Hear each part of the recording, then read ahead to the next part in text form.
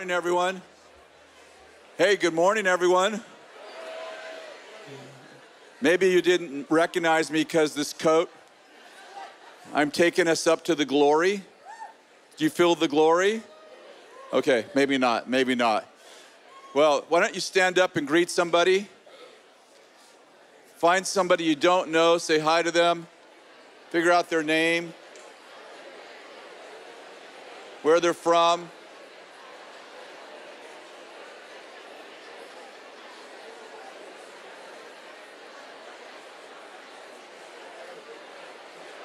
Good morning.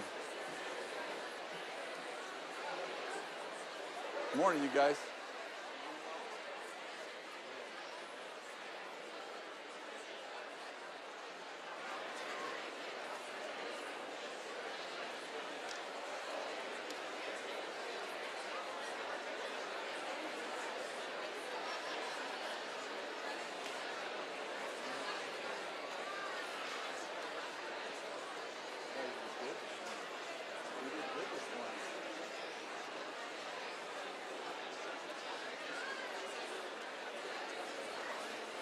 So good.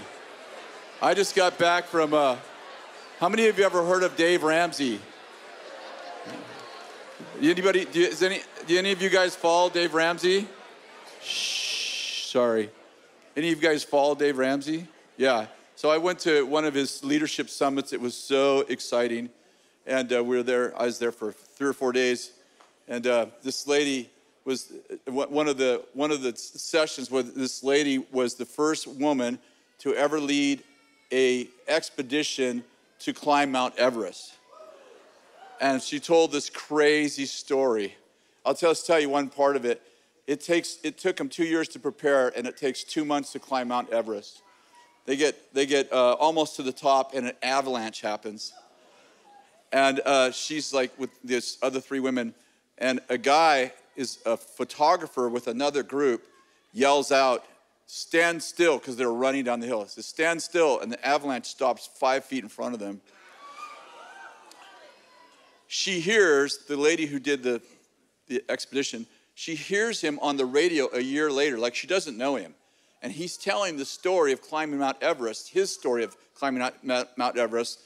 And he said, Yeah, there was an avalanche, and said, I saw these these four ladies and they start they were running down the, the hill and I told them to stop and they stopped and he said, Why'd you tell them to stop? She said, Well, I, I just figured we're all gonna die, so why run from it?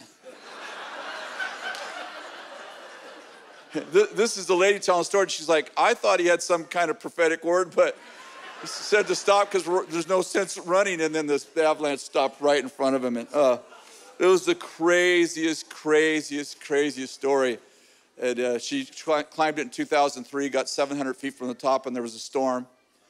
And anyway, she had, should we go to the top and die? And by the way, there's frozen people along the way.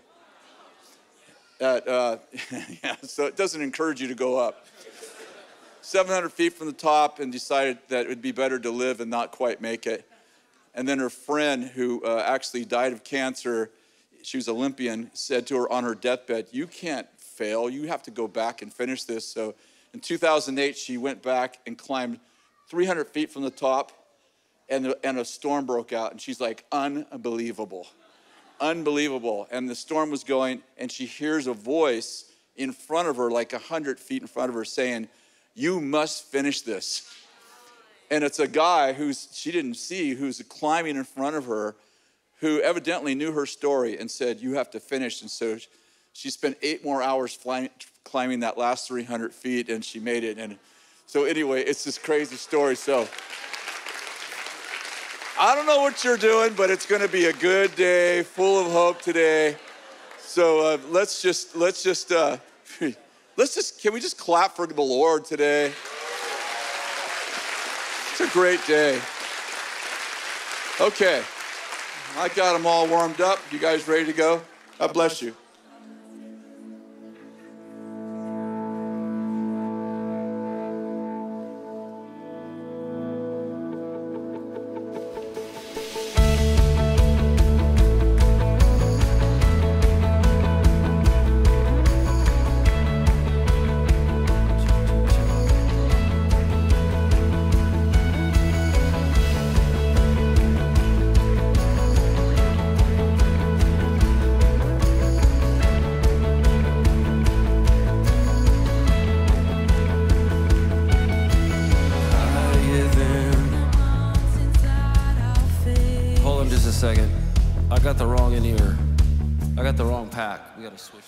Second. It's not gonna work out.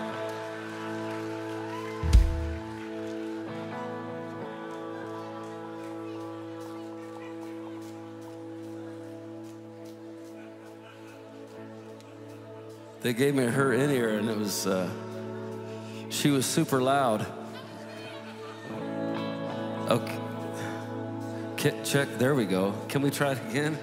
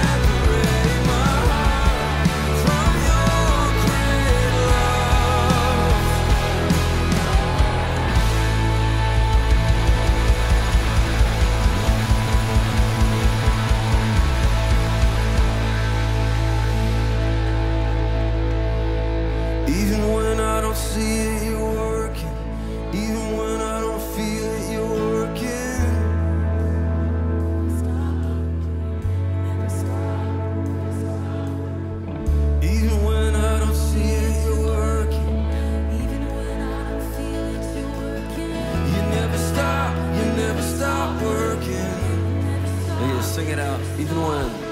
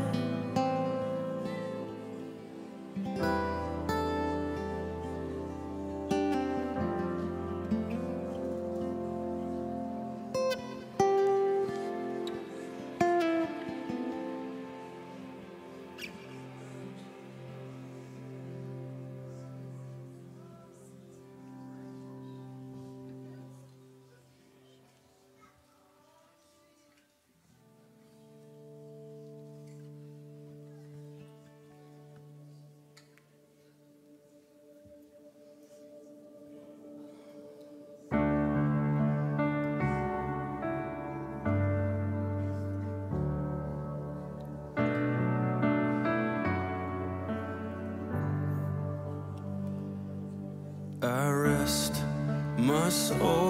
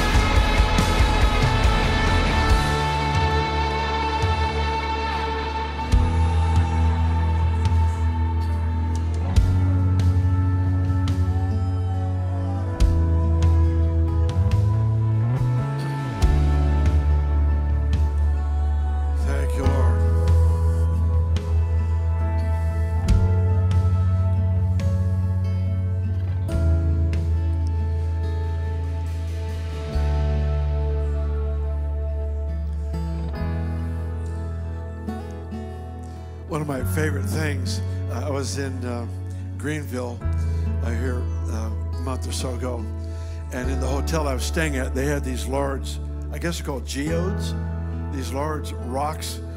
They're ugly as can be on the outside. You crack them open, and they've got the most amazing, you know, purple and yellow and green crystals. All it's just extraordinary. That's I call those revival rocks because you got to get on the inside to know the treasure that's there.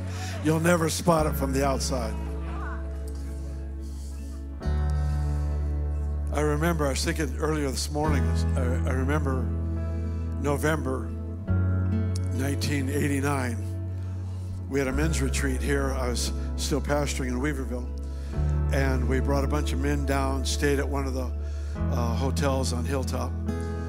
And, uh, and I remember there was a break, and I went to my room and I turned on the news, which I don't do anymore. I'm allergic to it now. I break out in, I break out in hives. I turned on the news only to watch a huge segment of the Berlin Wall removed, and people were marching through, probably by the thousands. It was the fall of the Iron Curtain. I'll never forget that event. I'll never forget that day. I'll never forget standing there, stunned at people that were filing through not a very large segment of the wall that was released at that time. And they were singing. They were singing, This is the day that the Lord has made. this they, they were singing.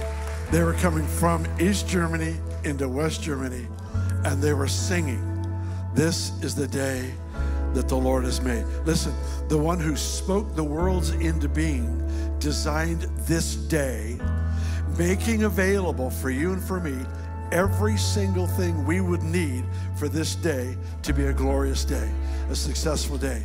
He thought of everything. Most of life catches me by surprise. Nothing catches him by surprise. He already set it up. There's not one thing that you and I will ever face that, we, that he will look at and say, oh man, if I only would have taken care of that on the cross. I just completely forgot about it. Nothing, because he took care of everything. Everything. Jesus made the most astonishing announcement in his ministry. He actually repeated what John the Baptist started with. He made this decree said, Repent, for the kingdom of heaven is at hand. He announced to an entire planet, change the way you think, because I brought my world with me and it's within reach. You'll have to adjust your perspective to access what I made available. And I pray for that for you and me today. I want you to pray for the person on your right and left. Put a hand on their shoulder, however you want to do it, grab their hand. In some way, I want you to pray that this would be the day of great discovery. That this would be the day of great discovery. As though they just tapped into a big gold vein in a gold mine. That this would be the day of great discovery announce over them, This is the day the Lord has made. He had you in mind when He designed this day. He left nothing unfinished.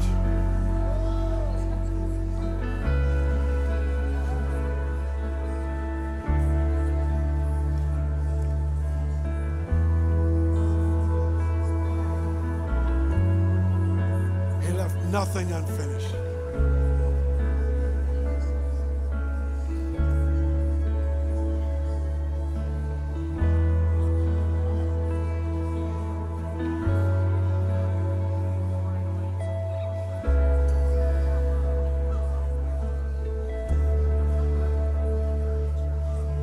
Did good. Put your hand on your own heart. And I, I want to pray over you as we wrap this up. There's this phrase that just went through my mind here just a moment ago. Trust begins the adventure. And I feel like I, I just want to pray that today would be the beginning of a new adventure to discover the richness of every day He created, every day that He made. So, Father, I pray for that. And we just confess out loud we trust you. Say it with me. We trust you. Father, we trust you. Say it with me. Father, we trust you. That this day would be a day of rich, rich discovery. I pray this for the honor and the glory of the name Jesus. Amen. Amen. Oh, so good, so good, so good. All right. You're standing around a whole bunch of good people. Bless them good. Find your seats.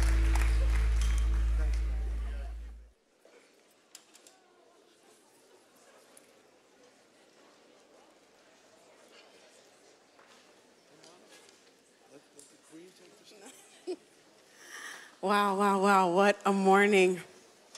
I love that it's the first uh, Sunday in June, the start of a great summer. As you guys make your way back to your seats, if you have a seat next to you that's available, would you lift your hand up so that we know anyone who needs a seat uh, can find one next to you? And yeah, thank you guys. Thank you for lifting your hand. Anyone with their hand up uh, is welcoming you to come sit next to them if you still need a seat. And if we fill the sanctuary, we have great room open as well. Anyone needing a seat, look for a hand raised and you'll find one, or you can go across the hall to our great room. The next group uh, that I'd love to acknowledge, if you are in our service for the very first time, would you wave at me? Yes, hello, welcome. We're so glad to have you. Welcome to Bethel. Keep your hands raised. Our ushers are going to bring uh, a card where we'd love to connect with you. And then at the end of the service, if you go to the South Lobby, where I'm pointing in that direction right now, if you go to the South Lobby, our team would love to meet you, to minister to you through prophecy, and just welcome you more formally. Um, and online, put it in the chat. We love that you're with us for the first time. Welcome. I love this weekend because this is the culminating day, the final day of what we call Bethel Redding Weekend. If you got to be a part of Bethel Redding Weekend on Friday night and Saturday at the lake, would you give a round of applause? Was it great? I love it. We had we had Dr. Michael Maiden with us on Friday night deliver a powerful word. The lake was phenomenal. Gabe and uh, Shane Mando, pastors here, got you out on the lake and had a great time. So we I just want to take a moment. If you enjoyed it, would you celebrate the leaders who made that possible and the volunteers? Thank you guys so much. Yeah. And finally, I am holding what you should have gotten when you came in. It is our brochure about the summer activities. They are kicking off this month, and inside you'll find all of the dates and information. But for details, you can go to the QR code in the back or bethel.com slash summer and get more information. We would love to spend the summer having fun with you and your family. And um, the rest of the details will be in our Sunday uh, announcements. So check this out and check this out. Bless you.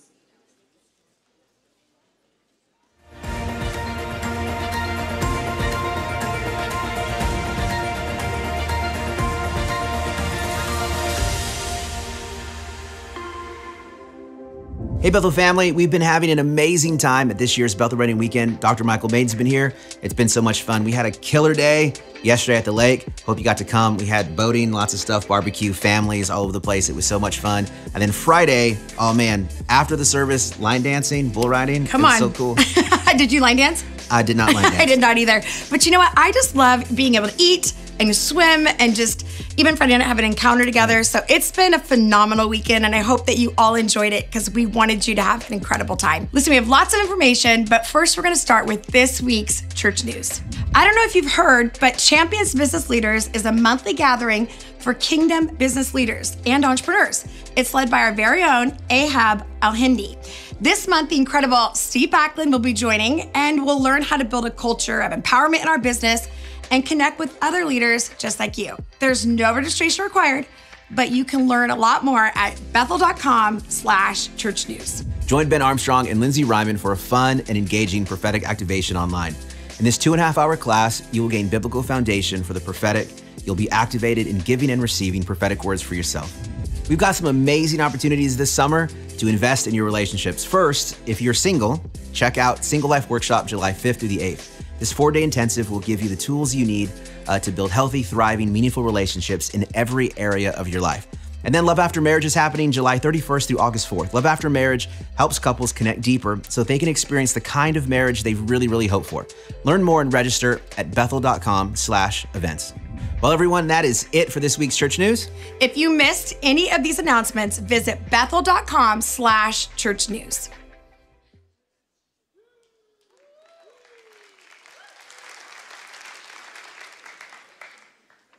Ne- I've never used this before, so I'm very nervous about using a microphone. I'm teasing. Hello, guys. Uh, I welcome to Bethel. I, I just officially arrived. It is offering time, so we are going to get ready to give. And uh, if you'll stand with me, that would be awesome. You know, worship doesn't end after announcements. Worship actually continues as we give. And I want you guys to understand, we don't talk about that this often, but tithe, giving God the first fruits of what He gives you, is not an act of tipping God. It's an act of saying, all of it is yours anyway. I'm giving you a percentage, a first fruits of my of what I've received out of my labor to say you are worthy of it all. You you gave me. How many of you have been invoiced on the oxygen that you use today? How many of you were, were invoiced on the sky or the sun? No, we've all been given enormous amounts of generosity. And so when we give to God, we tithe not just because we tip God, but we tithe because we say it's a sign of saying, you can have it all. It is all yours anyway. And I want to make sure that you get the first fruits. And as a young woman, I did this very early on, and it became so automatic that I have an automatic just, it goes to the church no matter what. And I, it's not about what I get to decide where it goes. It's about my act of obedience to him saying, It is all yours anyway. I remember this one time, this woman, beautiful woman, took me out to a store and she said, I want to buy you anything in this store. Um, I work here, I have a discount, and I want you to just get whatever you want. So I got all this stuff. We wandered around. It wasn't an expensive store, but I gathered some things because I have four kids and I have too many kids to enjoy, you know, all the things I want. And so I, uh, I put it on the thing, and at the end, she's checking out, and she's, she leaned over and she goes, You know, I don't tithe. I just take people out and I give them things at the store. I take them out and shop with them. And I understood her motive was, I want to be generous. But she missed the point because that first tenth is not hers to give. It's an offering in which we give to Him. And when we give it to Him, it's a sign of sacrifice, it's a sign of obedience, it's a sign that says, before anything else. And so for many of us right now, we are in a financial battle. How many of you know it's not an easy time to give? That's when it counts. How many have been married? And it's the days that you don't feel like being married is the day that it counts. This is the day that you don't feel like parenting and you parent out of love is when it really matters. It shows who you are as a believer and as a follower of Jesus Christ. So they didn't ask me to preach this. This is a Havilah thing, but I want to make sure I remind you now offerings are over and above. So you we give multiple offerings in our lives and we've been faithful to do that for many years and God has been so good. I've never seen him we've never gone without. I mean, God has just been so good to us. So, uh, what I want to do is read offering number one to get today. And um, I don't know it by heart. I know that there are many ministers here that do, but I do not. So, I'm going to read it with you. Can we read this together? Okay, the five of us. How about all of us? Can we all read this together? All right, here we go.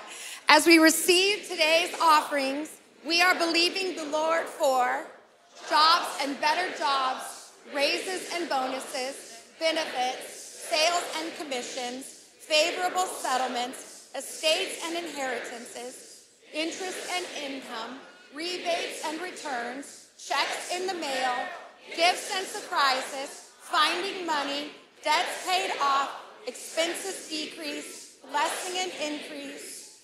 Thank you, Lord, for meeting all of my financial needs that I might have more than enough to give to the kingdom of God and promote the gospel of Jesus Christ. Hallelujah. Okay, take what you're going to give today, whether it's just you've already given it online, put your hand out in front of you just as a sign of like, okay, God, you get this. And Lord, we just say, Lord, you are worthy of it all. And we give you the first fruits of what you've given us. Lord, you have given us oxygen, air, uh, income, resources, time, talents. Lord, you are the great giver. And so, Lord, we take this moment today to say we will worship you in spirit and in truth. We worship you by obedience, by giving you what you've already given us. And we just thank you for your goodness and your generosity. And I thank you for those that are giving out of sacrifice today. Lord, you see it, it matters to you, and you have checks in the mail and gifts and surprises that are coming their way because they are doing it as an act of faith. And so we bless you. And everybody said, Amen and amen. So if you are not used to giving or you're not sure how, there'll be buckets that'll be passed, or you can just uh, use the QR code, and that allows you to uh, give online, and it will give you all the documents for your future in giving. All right, you guys, that is it. Now, Pastor Bill. How many of you love Pastor Bill? Come on. Beautiful. As the back going, thanks, thanks, thanks. Be seated.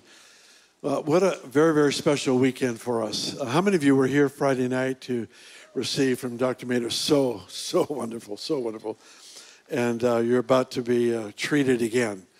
But uh, just to waste a little time while the bags are being passed, I remind you of a funny story. A couple decided to have their pastor come over for lunch or dinner. And after he left, the wife turned to the husband and said, I, I think he stole our spoon. And uh, really bothered her. They had him over again a year later, and she just couldn't keep quiet about it. She said, Pastor, by any chance, last year when we had you over for dinner, did you steal one of our spoons? And he said, No, I just put it in your Bible.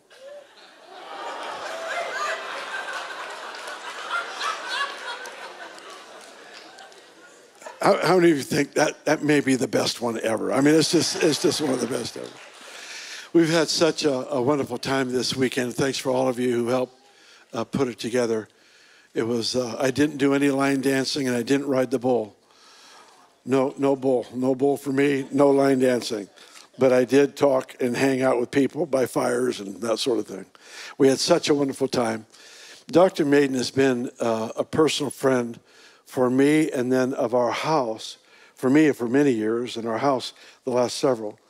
And I, I, there's very few people that have marked my heart as deeply with the prophetic and with their friendship as deeply as Dr. Maiden has. He's ministered to us uh, so, uh, such encouraging words, such prophetic decree and destiny uh, Friday night was just over the top. This morning, once again, I'm just thankful. I'm thankful for the chance to, uh, to be able to sit at the feet of this wonderful friend, wonderful man of God. I feed my soul on words that he says, and I do that on a regular basis. I would like for you to welcome Dr. Pastor, Prophet, Friend, Michael Maiden. Welcome.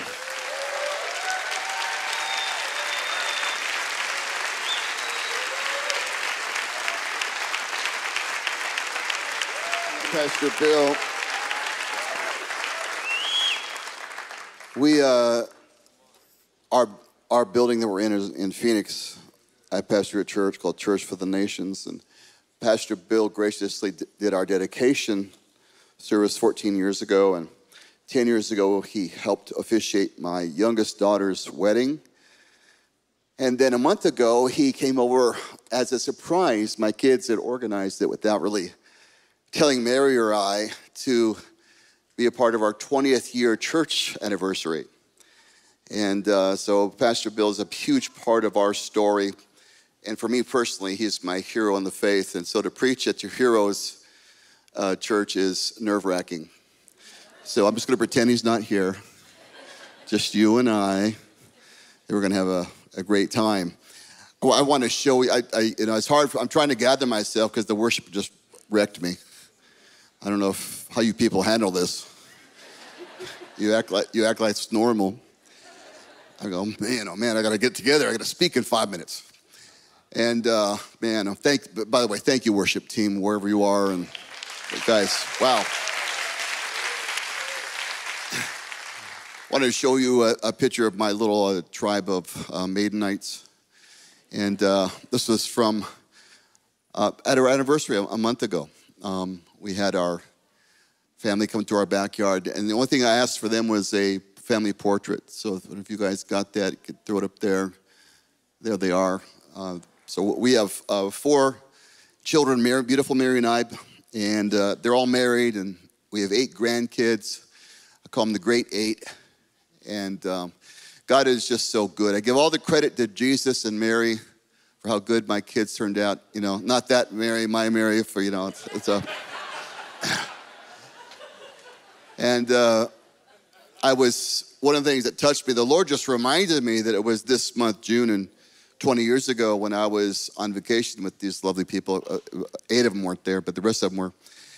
And uh, I was diagnosed with a uh, stage four cancer in in Laguna Beach, California. And as the doctor was going through the, the difficulty of treating it, which was, he said, was, you know, which was impossible, I could barely speak. And I leaned across his desk and I said, I shall not die but live and declare the works of the Lord. It's Psalm 118, verse 17. And it, it stupefied the doctor. He said, What?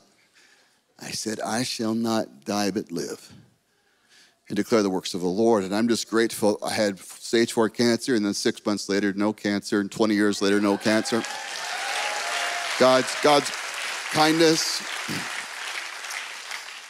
And uh, in that group of people, the, uh, my, um, two of my grandkids, I think, are going to come to school here. So they're, they're both uh, seniors this next year in high school, and they're talking about coming to the Bethel School of ministry. And so I'll be over here like every other weekend, you know, and it's just sitting in the back, but hanging around with my, my grands. And uh, my grandkids only know a happy man. And uh, Jesus healed me from a clinical suicidal depression. And, you know, uh, like 28 years ago, we were building a church, and our treasurer embezzled a bunch of money, $20 million. And it was a massive scandal, and it led to a personal depression our church grew from 5,000 to 140. That's not, that's the wrong, that's the chart upside down. We had 10 front page stories and six lawsuits and 15 concurrent attorneys. And we're homeless for 10 months as a family, um, death threats and everything else. My son became a drug addict at 12. Uh, just, tr- you know, trying to treat the pain. And everything that could go wrong went wrong. I was 37, thought my life was over. Here, here's what I found out when hope leaves, your heart gets sick. That's what the Bible says. Hope deferred makes your heart sick. Hope is the oxygen of the human soul. We just don't do good without it, we suffocate without it. But Paul said this in Romans 15 May the God of hope fill you with all joy and peace in believing, that you may abound in hope through the power of the Holy Spirit. God wants you to have so much hope you're contagious. This is a this is a place where people that have lost their dreams dream again. You know your heart's healthy when it dreams again. It's time to dream again, my dear friend. Well, everything was tough for us, and and the Lord did two things for me. He He invited me to forgive the people that had hurt me, and um, he He said, Michael, if you will forgive the people that have hurt you, I will make you forget the pain they've caused you.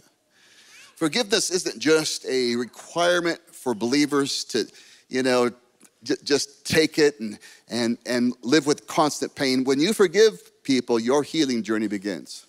There's no pain a person has given you that God can't heal. So you, you have to believe that. Jesus Christ healed me. So I made a list. I checked it twice. Everyone was naughty. No one was nice. And Jesus Christ, about four months, about um, eight weeks into it, he, he touched me at a God encounter. All the pain was gone. God gone. God filled me with love for people that had hurt me. And that's really a test. When you can love people that have hurt you, you, you- know you've forgiven well. So I just want to encourage you. You're going to dream again. You're going to hope again. And God's going to help you in this season. I talked about comebacks on Sunday nights, and we'll talk a little bit about now. But I just want to encourage you. My wife calls me Lazarus. And in our city, God gave us such a radical comeback that people come still 20 plus years later just to see the guy who was buried in the front page of the paper. And I had a public burial, but I had a public resurrection. resurrection. And I just, you know, it's always a, a divine setup when a crowd's gathered to watch your setback because God's going to make them front row witnesses of your comeback. So God's God's not done in your story. I tell people don't give up. Give God the chance to write a good ending to your story. He has certainly helped and done that in my life. And my grandkids only know a happy poppy. I was watching the movie Frozen for the 85th time uh, 10 years ago with my two granddaughters. That was their, their thing, man. Every time I'm with them, what do you want to do, girls? We want to watch Frozen. I said, oh, lovely. I've only seen that 82 times. And they'd sit on both sides of me, and I couldn't even turn my head. Poppy, you're going to miss what's coming. I know it's coming. I, I remember this part. And uh, there's a song in Frozen called Let It Go. You know, if you watch it 82 times, you lay in bed and say, Jesus, please let it go. This song. And, uh, but in the New- Testament, the word forgive, aphiemi, means to let it go. It's amazing what happens when we let it go. And so I stand before you as a miracle. And uh, my granddaughter London, we were watching that movie for the, you know, the 80th time, and she jumped, she jumped in front of me, grabbed my cheeks, and squeezed. She was four years old and said, Poppy, you're the funnest person in the whole world. So this morning, you're honored to hear from the funnest person in the whole world, at least according to my granddaughter, London Sierra Maiden. And, uh, but it's all a testimony of Jesus. It's, it's what he can do. You're not too broken. You're not too broken for him to heal. You haven't lost too much for him to restore. His love can heal anything it touches. And when we sing like today, we talk about his love and remind ourselves to re experience his love, it always heals. Oh, thank you, Jesus. For, I, for a few moments, I want to share a message called You Are a World Shaker. Here I am at the World Shaking Bethel Church preaching on world shakers. And in our text will be 1 Samuel chapter 14. If you have your Bibles, turn there. If you have a photographic memory, just turn there. However, you follow along with this, let me share something funny before I begin. Heard about this mother and daughter, young daughter. They were leaving church, and the mother asked the little girl, What did you learn today in children's church? And she said, Mommy, I learned today how God made men and women. And the mother said, That's great. Tell me how he did it. The little girl said, Well, here's what happened God reached down, grabbed a handful of dirt, and made a man. And then he put the man to sleep, took out his brains, and made a woman.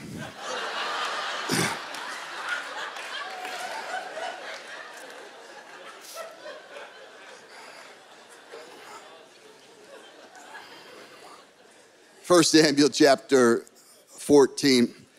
Now, it happened one day. The pastor began the service. This is the day.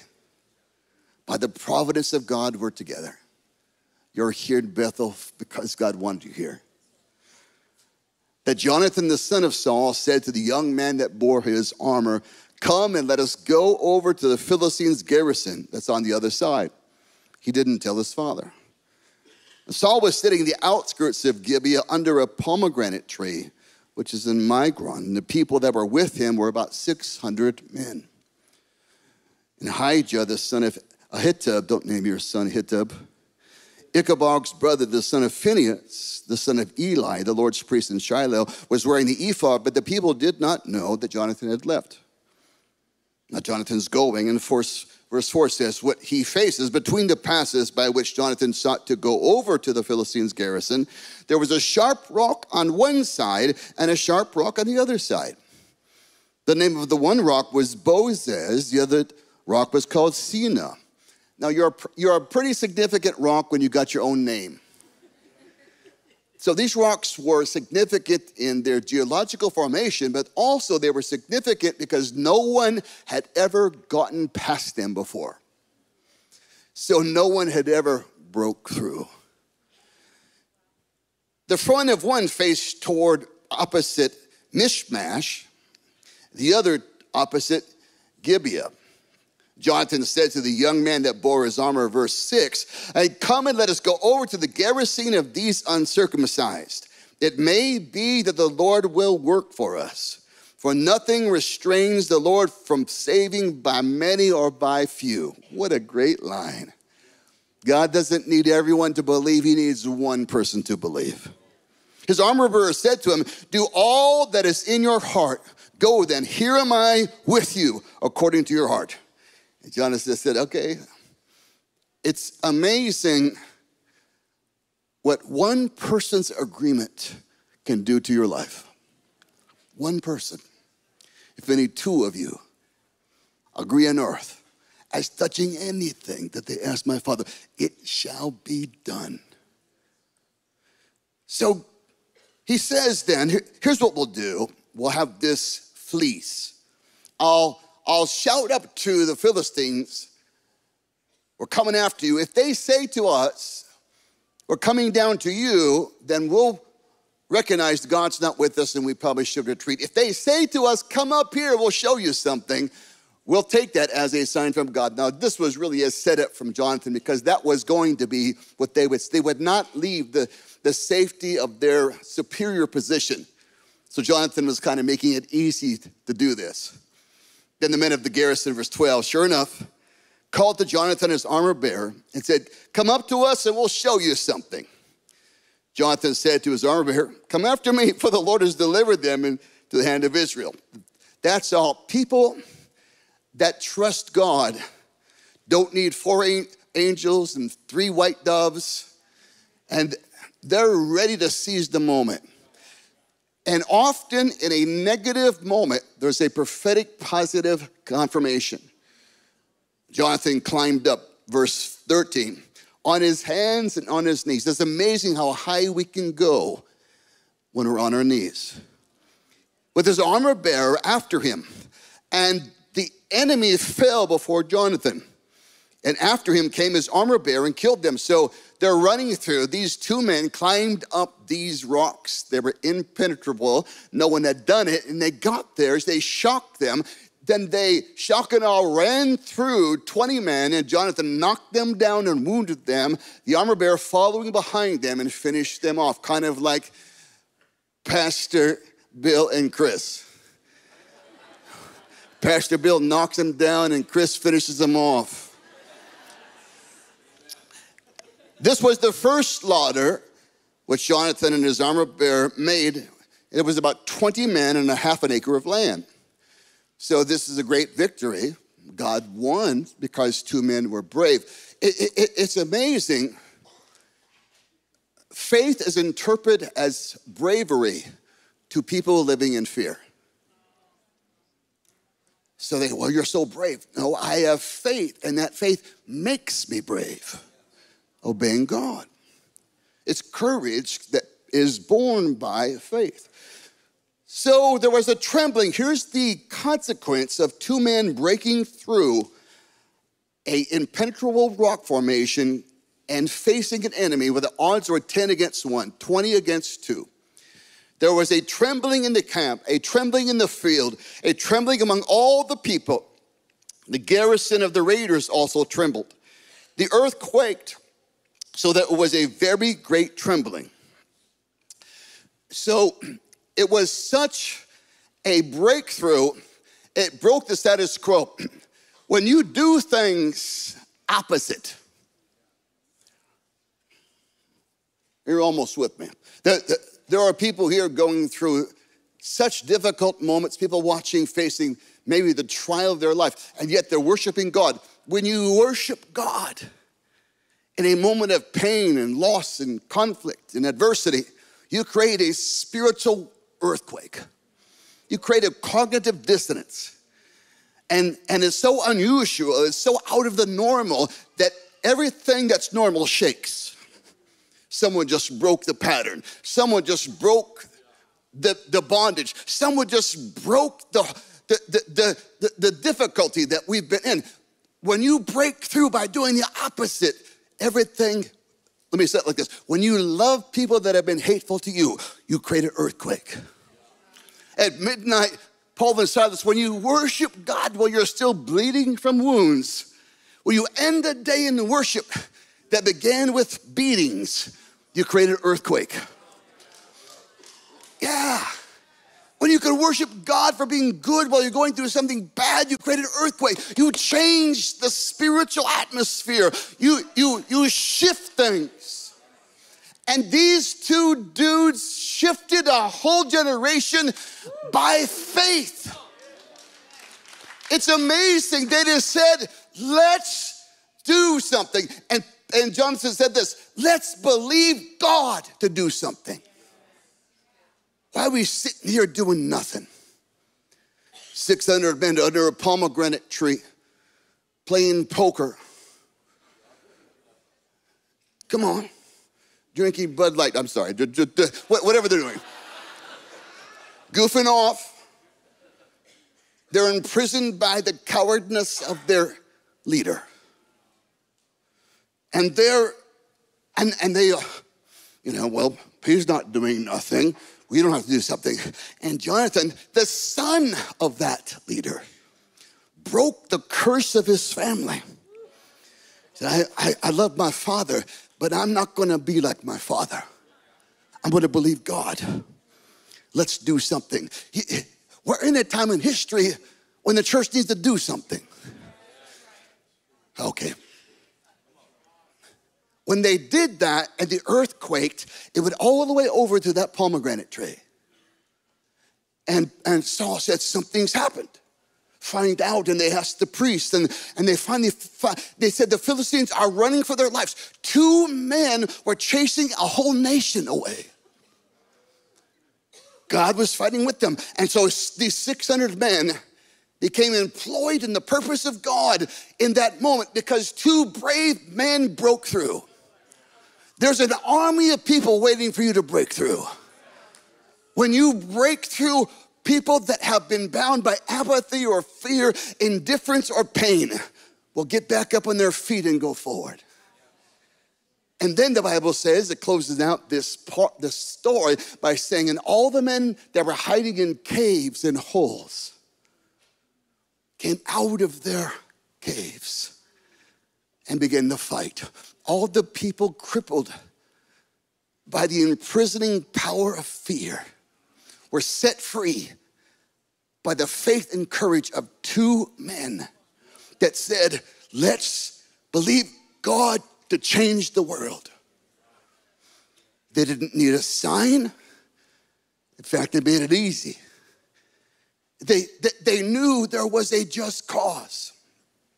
I don't know the exact moment it happened when Pastor Bill and Pastor Beni got so hungry for God that they climbed up, they climbed past religious boundaries. Thus far may you come. It, it, they climbed back what other churches were experiencing. They climbed back out of the apathy and indifference and the compromise of the Western church. And, and, and two courageous people got so hungry for God, Pastor Bill said, Holy Spirit, take over. And you're living in the earthquake breakthrough that Pastor Bill Johnson and Pastor Beni Johnson began 30, 40 years ago, whenever it was. You're benefiting from their faith. Come on.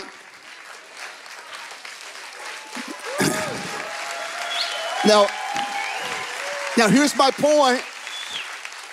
Why did, how many of you came from out of town to join this church? It's like the majority of you crazy fanatics. Why do you think God brought you here? Because you're called to do the same thing.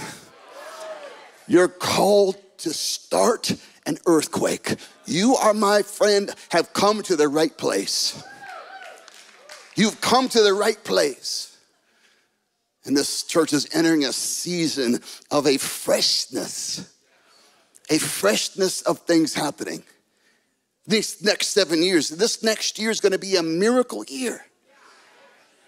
It's not that there's been a, a, a, a drought, but there's been a withholding. Everything withheld is being released to you. And there's going to be a financial breakthrough, $40 million this next year. Your pastor is, God has determined that Pastor Bill will have the sweetest season of his life. That God has saved the best wine for last in his story. And he's gonna come up on the stage and and things are gonna pour out of him that he already is so amazing. But it'll come out and say, Man, oh man, that's the sweetest wine he's ever given us. Something good is happening in him, in you in this moment. And why did God bring you here? Because God wants to shake the whole world. By the way, He's already shaking the whole world through Bethel, but He wants to do a little more of it. Come on, Bethel worship. I don't know, Pastor Brian said, Bethel worship, shaking the world. Come on, I began this morning crying in my hotel room, just listening to Bethel songs for an hour straight. Oh my God, that one's great too. I forgot that. How good that. How did I forget that song? One after another, hit, everyone shaking me. The whole world shaken by the school of people come from around the world to come to your school of ministry. All over nations, from people, you're changing the whole world from Redding. My, my only complaint is, God, couldn't you made a city that's easier to get to? I, now, oh, you, oh yeah, you should have seen me Thursday night. My flight's delayed. I got a connecting flight. I'm running through the. It's an ugly sight. I'm running through the airport. God, don't let me run anybody over. Got to catch that flight. I, I, get there. I'm sweaty. I get to the gate. And they say, "Oh, this flight's been delayed too." It's like the Lord said, I, I took care of this for you. You didn't have to sweat it out there, big boy. You know, I I probably needed to work out. It's probably okay. God, till God picks a place that's even hard to get to, just to test people's level of hunger. Mm. Well, that's too hard to get to. You, that's right, you don't belong here. well, I, that came out harder than I thought it would. you, you can still come when it's convenient. That's even worse backsliding right in front of you.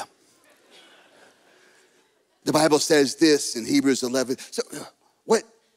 It, it, it's wrong to suppose that God uses Pastor Bill and Kris and everyone else, or me or anyone, that, oh, that's just God's predetermined, predestined call. Yeah, yeah, yeah, there's a calling there. But it's their behavior that has allowed the calling to have its great reach of influence.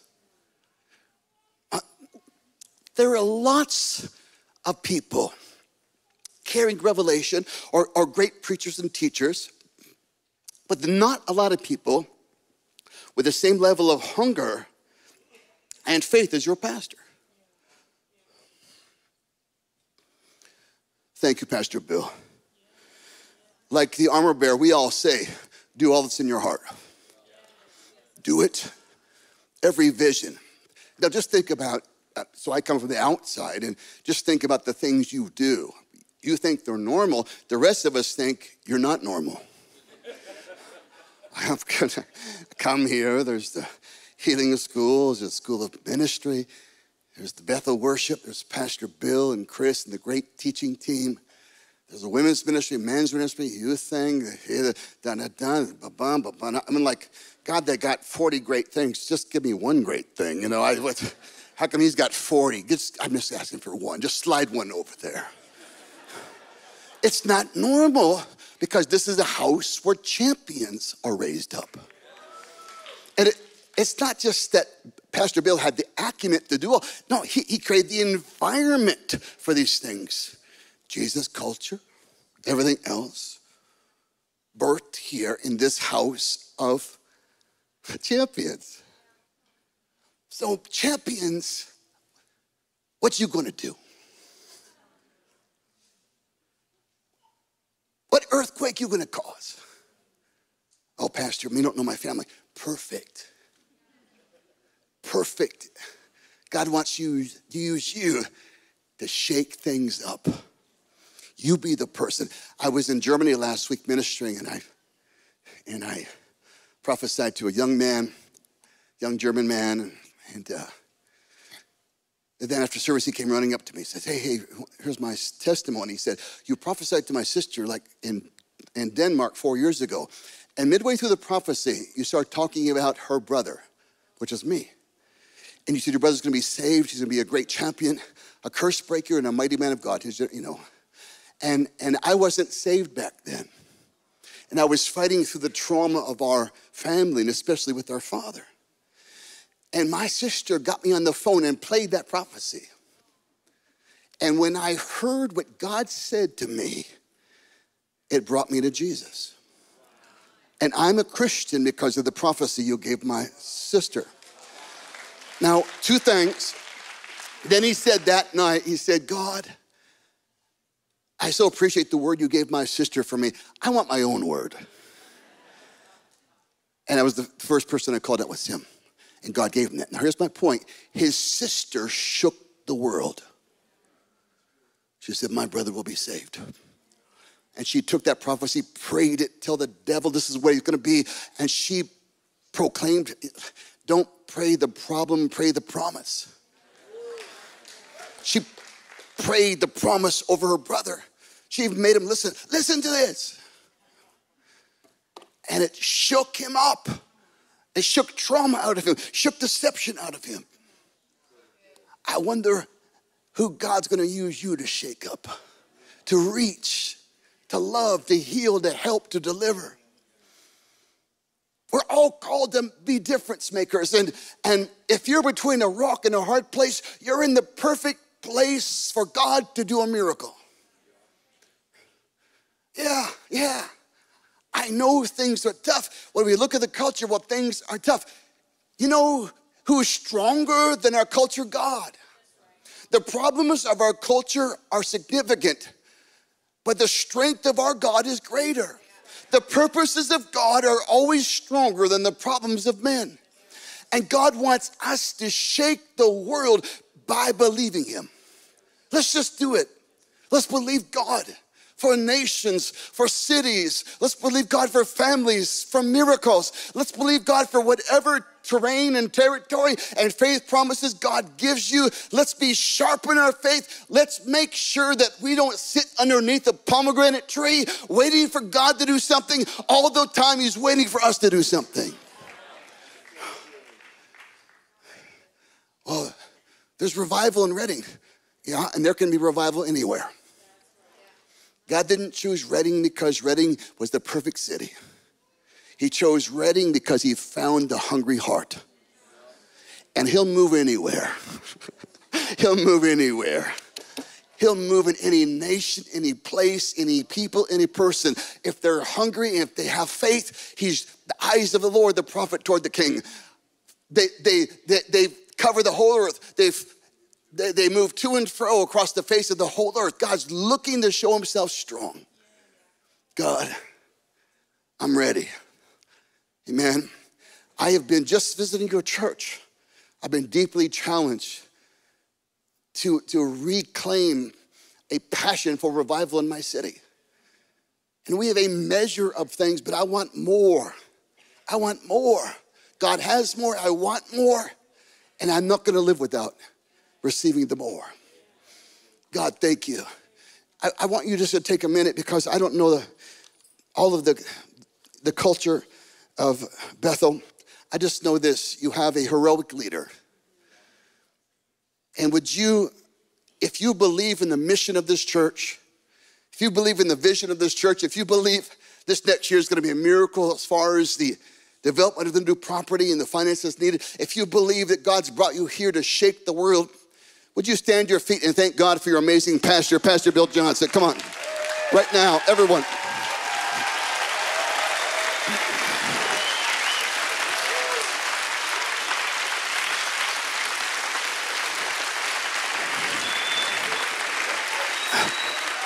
Now let's thank God for, thank you, God, for Bethel. Thank you, God, for Pastor Johnson, Pastor Kris, all the team.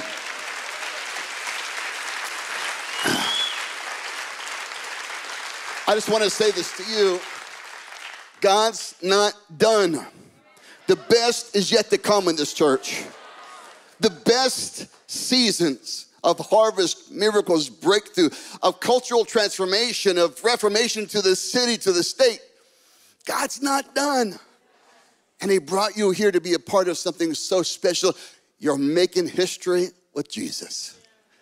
And man, there's just nothing, none of you will regret in heaven, even though it cost you money or your job, or oh, none of you will have a regret for coming here. Lots of people will regret not coming here. In fact, if I would have heard about your church 25 years ago, I'd be sitting right next to you. I, I heard about it too late. It's a funny story. God, thank you. I'm ready. Use me. I'm ready, God. I'm ready, God. I renew my desire, my passion, my pursuit, my hunger, my determination. Thank you, God, for what you're doing. The, uh, is it okay in this service to come down? No. Am I allowed to leave the stage in this service? Okay.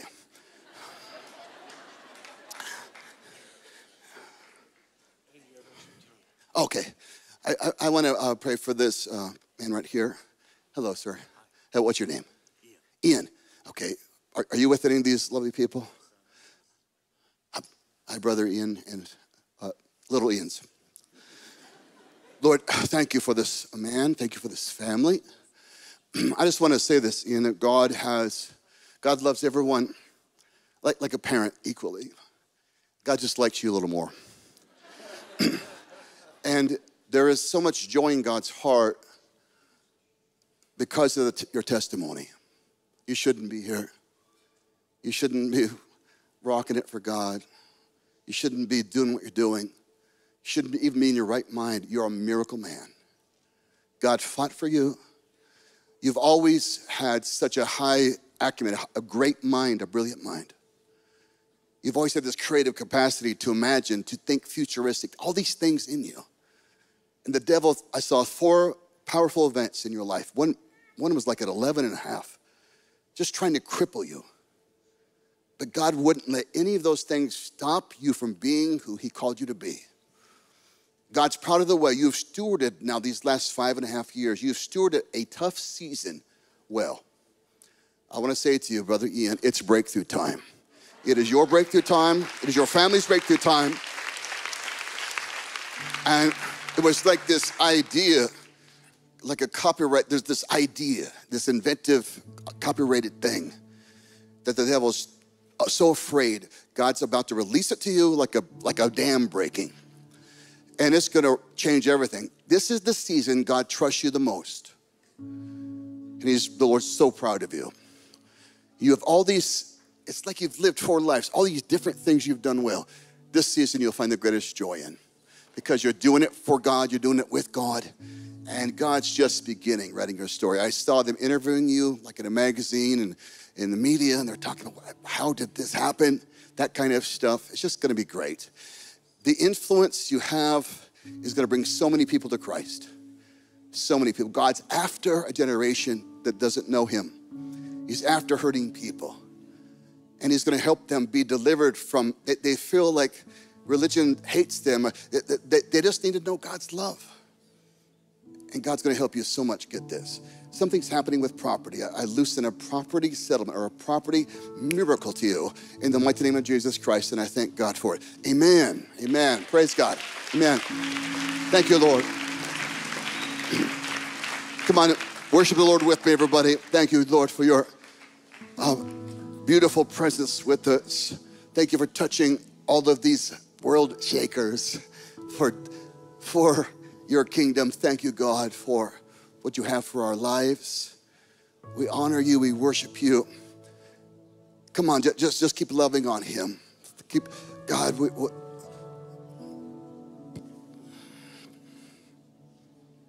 thank you, Jesus. Thank you, Lord. Thank you, Jesus. Thank you, God. Thank you, God. Thank you, God, for touching my friend today. Thank you, God, for touching this body. Thank you, God, that you're a miracle working God. And I ask you, God gave me, young man, a miracle. And I just believe today for God to give you a miracle. In the mighty name of Jesus. Thank you, God, for touching this young man. Thank you, Jesus. You're so good. Yeah, God, you're so good. Uh, God's literally resurrected you a couple of times from death. It's not even something, you, you have a different attitude toward it because you've had to face it so much. But I declare over you the scripture God gave me 20 years ago You shall not die, servant live, and declare the works of the Lord. That God's not done in your story. And God brought you back for a purpose and a, a reason, a destiny. And that your heart's going to start dreaming again. Now, something needs to happen. God's released it to happen. So it's like a, there's a medical piece to this that God's determined to give you. So, God, thank you for all you have for this amazing young man. We, I bless him and declare your great grace over him. In the name of Jesus. Um, can I pray for you, uh, sir? Here. Yeah. t- yeah. Hi, how you doing? What, what, what's your name? Dan? Are, are, do you have any family here?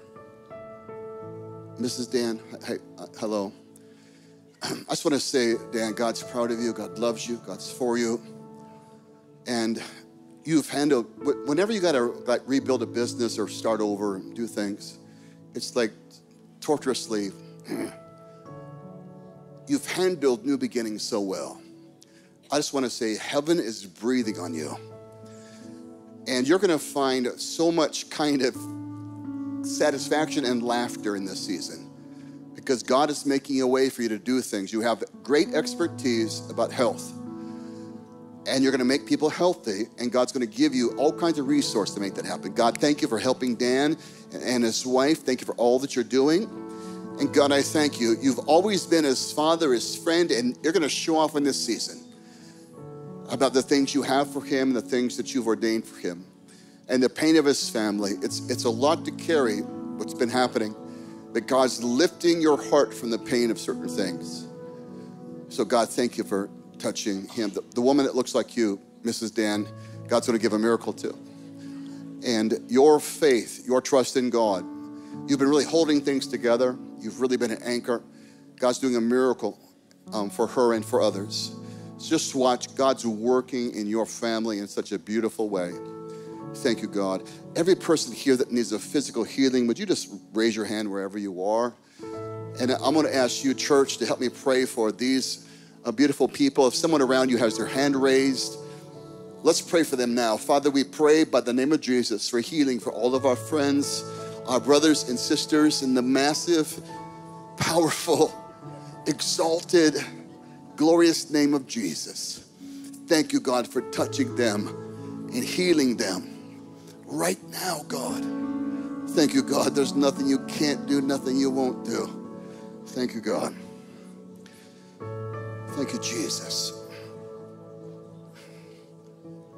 Are you guys married? Yeah. So I walked past you, and the Lord said, Tell them it's done. I just declare over you it's done. Miracle to your home, miracle to your lives, miracles for you.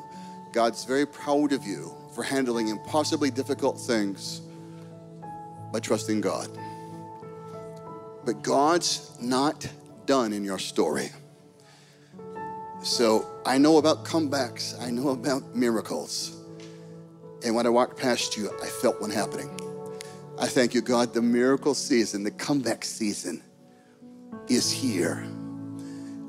And the disappointment of whatever's not happened or did happen, God just lifting out of you. It's not that you'll stop remembering it happened, it's that it won't hurt anymore. So, God, thank you for your great love for these beautiful people. That they've not turned away from you, they're not turned away from each other. And now they're going to see you turn toward them in a miracle way. Thank you, God. God, His love is so great. It just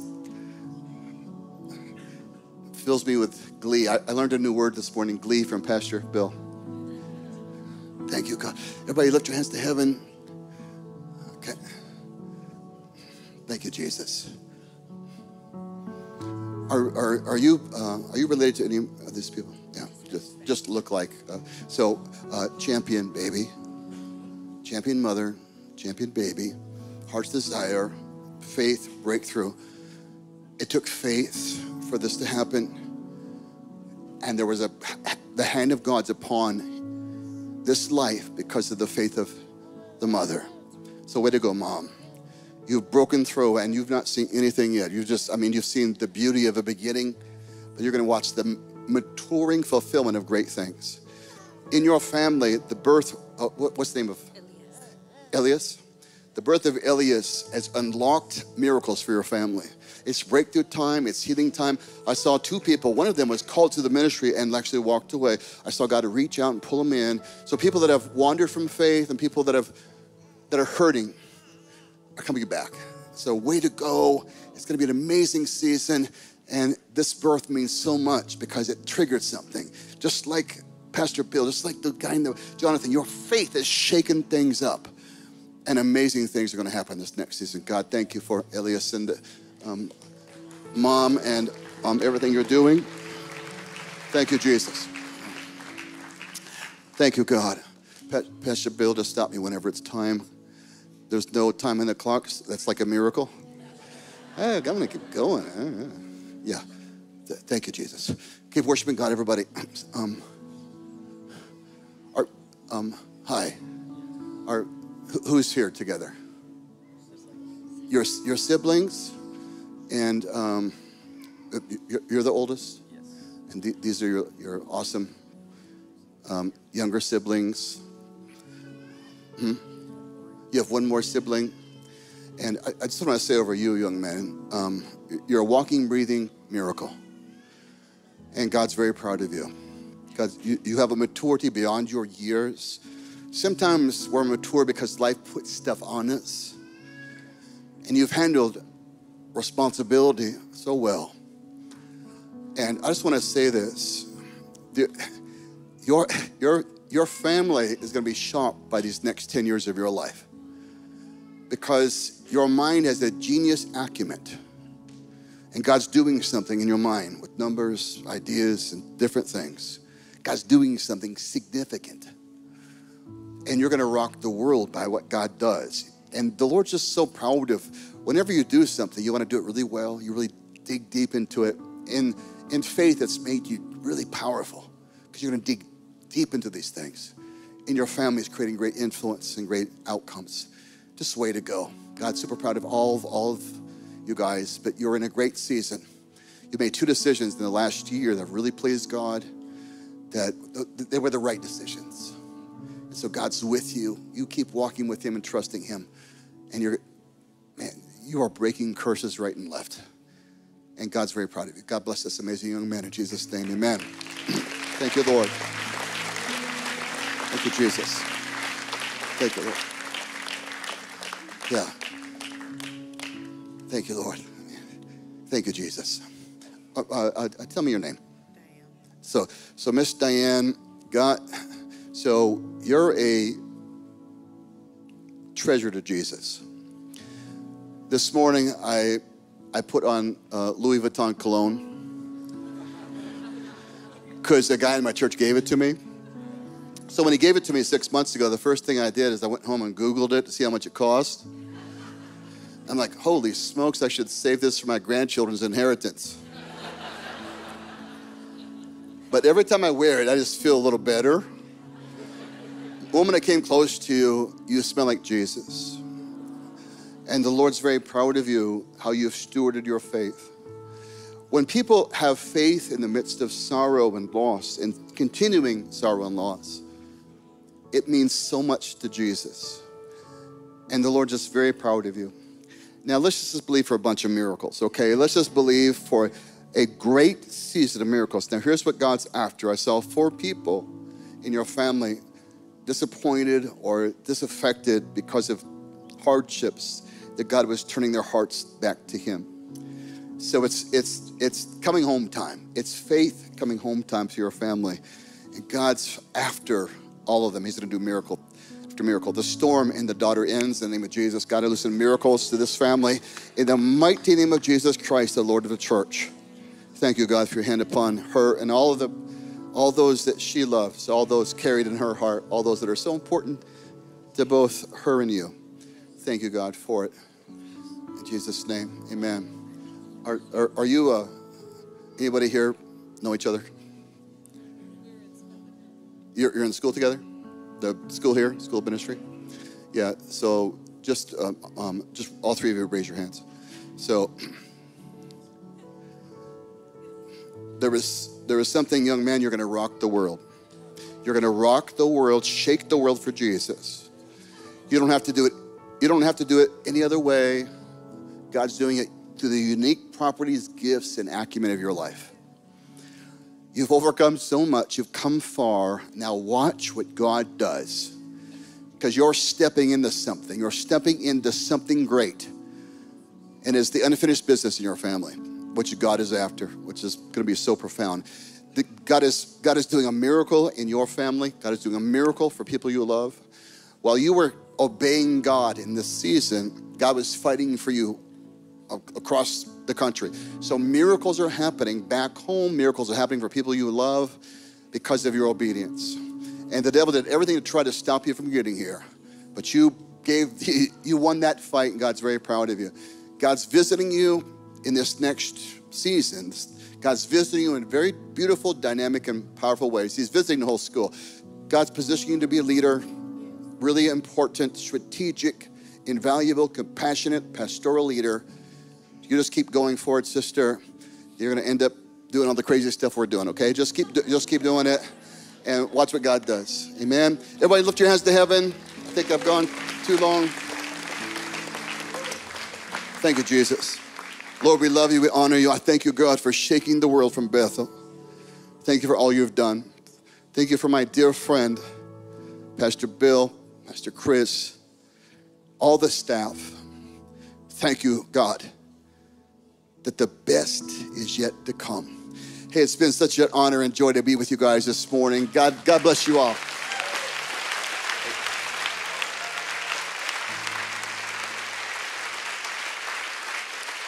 So good. Wow. Praise God. How many guys were blessed? Amen. Amen. Hey, if we could have ministry team just make your way forward right now. We want to pray for anybody here who needs a miracle, needs prayer for anything. So if ministry team, if you could make your way forward, go ahead and stay standing. We're going to dismiss you guys. If we got any students in the in the house, BSSM graduates, staff members, please come and, uh, and we're going to pray with you. Also, if you're here right now and you've not committed your life to Christ, if you've not surrendered your life to Jesus, the Bible says now is the time of salvation. Amen. And so if you're in this place and you want to give your life to Christ, just raise your hand right now so I can just see you. Just raise it up. Anybody here who's like, you know what? I want to give my life to Jesus. I want to leave behind the old. I want to step into the new. I want what, what this place has. If that's you, just raise your hand up. If you're online, type in the chat, I need Jesus. Somebody raising their hand? I see people pointing. Right over here? Right over here? You raising your hand right there? All right, man. Come. Let's go, bro. And somebody right here. If you just raise your hand, would you just come forward here? I, I want to pray with you. We want to pray with you. Come on up here. We want to. It's a new day. The Bible says that Jesus said, if anybody prays in anything, agreeing on something, it'll be done for you. We're going to pray. This is going to be done for you right now. Come right over here to this banner. Jordan, raise your hand. And he's going to pray with you right here. I'll make my way over there in just a second. It's a new day. Come on. This is awesome. Right here. Yes. So good. Come on. Give God praise for that. That's awesome. All right. Bless you guys. We have an encounter night tonight. It's going to be powerful. So if you need prayer, come on up, get prayer. God bless you. Have a great day.